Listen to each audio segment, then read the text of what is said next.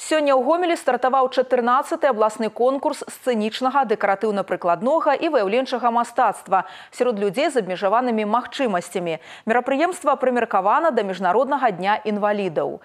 Больш як 150 удзельнікаў з гомельскай вобласці прадстаўляюць 17 раённых аддзяленняў беларускага таварыства інвалідаў. Дарэчы, самой грамадскай арганізацыі нядаўна споўнілася 30 гадоў. У фае абласнога аб'яднання прафсаюзаў прадставілі выставу дэкаратыўна-прыкладнога творчага і выяўленчага мастацтва. На сцэне канкурсанты спявалі песні, выконвалі іх на мове жэстаў, танцавалі і чыталі вершы. Падобны конкурс талентаў на гомельшчыне праводзіцца штогоды, цікавасць да яго расце.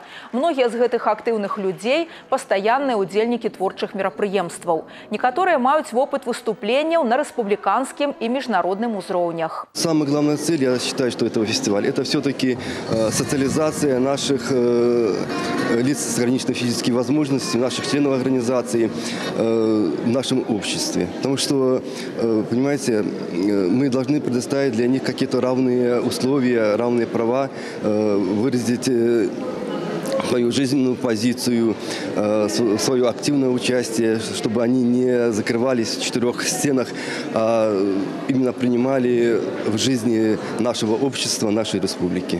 Вынікі конкурсу падвядуць заўтра. Акрамя 9 традыцыйных намінацый сёлета арганізатары дадалі яшчэ дзве.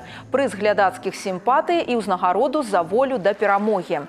Беларускае таварыства інвалідаў запрашае жадаючых стаць гледачамі гала-канцэрту пераможцаў. Пачатак у 9 гадзін 30 хвілін у зале абласнога аб'яднання прафсаюзаў.